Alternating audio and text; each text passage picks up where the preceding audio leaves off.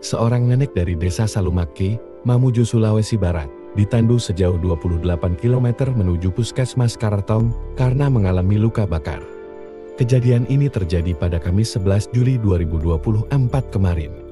Pasien bernama Tendeng, berusia 59 tahun, harus ditandu karena akses jalan hanya bisa dilalui menggunakan kendaraan roda dua.